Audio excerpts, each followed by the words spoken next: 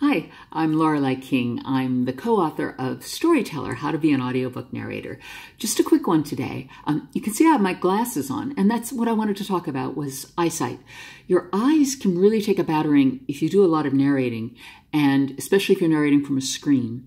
So my advice to you today is when you're doing a long session, when you have a break, don't just go to your phone. You know, don't just start checking your phone. You don't need more close screen.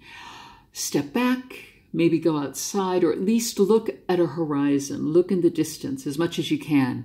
It just uses different muscles and, and stops you from getting eye strain because these babies are precious. You got to hang on to them. You're an audiobook narrator. Anyway, I hope things are going well.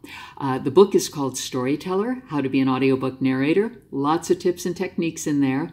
We'd love to know how you're doing. Leave any questions or comments below. We'd love to hear from you or find us on social media. And remember, look after those peepers. Hope you're having a great day. Bye bye.